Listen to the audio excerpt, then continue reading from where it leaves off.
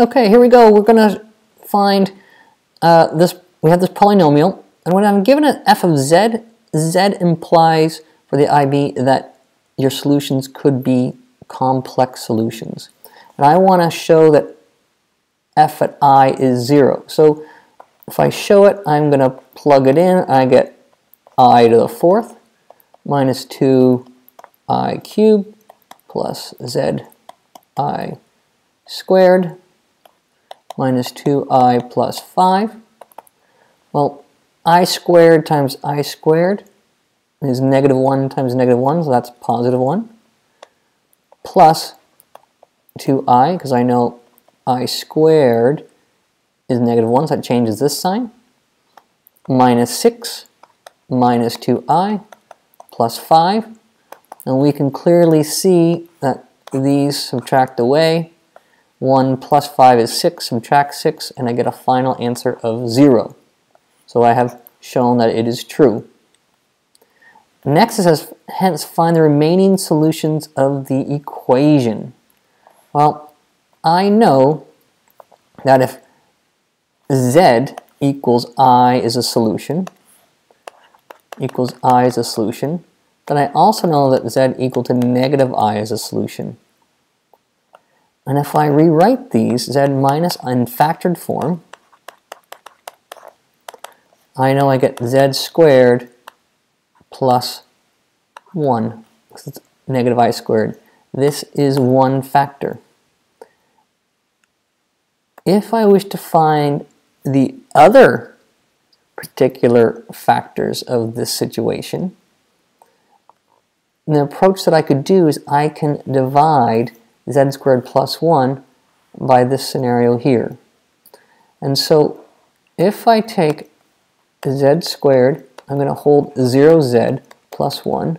I'm going to divide it into z to the fourth minus z squared, z cubed, sorry,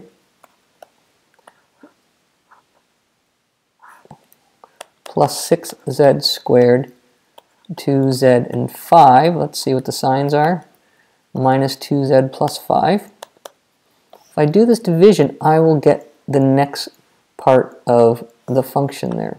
So if I take this then, I divide, I get z squared, and this is z to the fourth, 0z cubed, plus z squared. And then I come along and I subtract it. I get, those cancel, I get minus 2z cubed plus 5z squared, pulling down the minus 2z. Multiply by a 2z minus 2z cubed plus 0z squared minus 2z.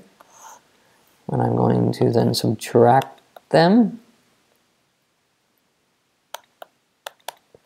which gives me 5z squared plus 0z. Pull down my 5 plus 5.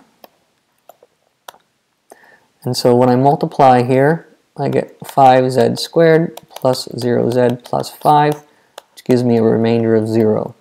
And so this is my second factor of my quadratic. So z squared minus 2z plus 5.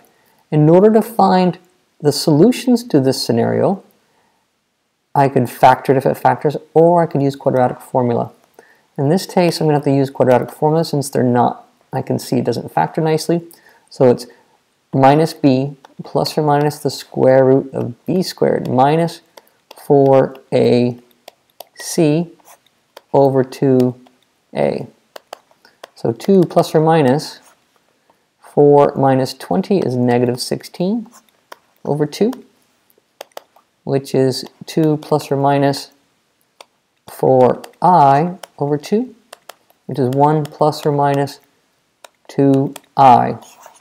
And so it the question now says find the remaining solutions of the equation. Well, I know here are two of my solutions. Here are two more of my solutions. And there's are the four. The fundamental theorem says there'll be four, and I have the four. And then it finally says write as a C part, says write as a product of quadratic factors. Well, I know this was one factor, and the second factor was this one here. And so it's z squared minus 2z plus 5. If I would multiply those two together, I would indeed get the original polynomial.